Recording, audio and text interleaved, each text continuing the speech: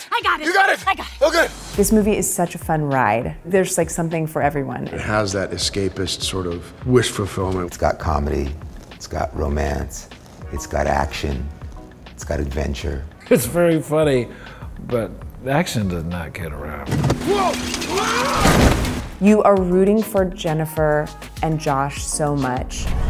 Dad invited your ex? I think it'll be something that folks want to watch. In the time that we're in, I think an excitable, funny escape where people can see themselves is something that everyone's yearning for. I can't wait to see it. I can't wait to see it.